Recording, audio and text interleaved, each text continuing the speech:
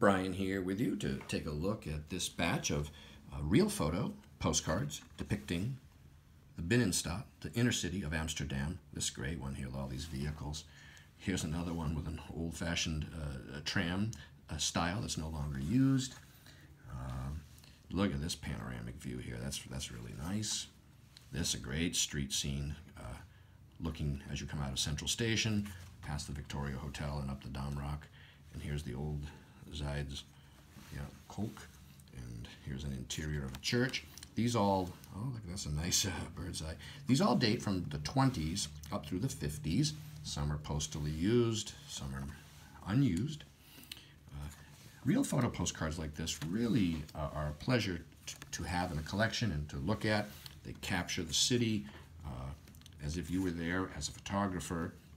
Um, yeah, these are very interesting part of a monumental collection of vintage postcards relating to Amsterdam we'll be cataloging over the coming weeks and months.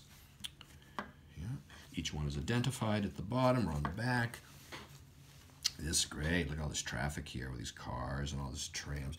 Even today, it's very similar to this. I think that's the old Munt. Uh,